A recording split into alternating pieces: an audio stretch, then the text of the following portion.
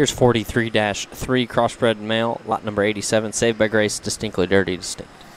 Yeah, so the dam here again would be the mate. Her mate brother was champion middle at Fort Worth a couple years back.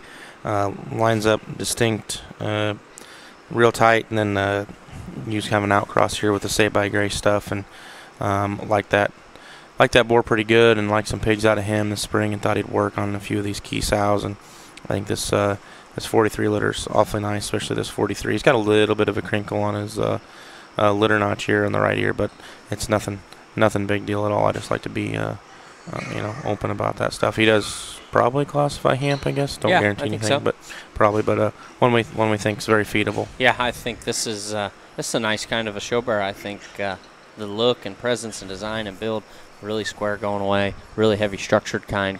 Uh, I, I think uh, he'll bulk and mass a, a little more when the time's right. I think he'll continue to to, to mature from from that aspect. Uh, looks to me like he'll be be a heavyweight bear, a 43-3, lot 87.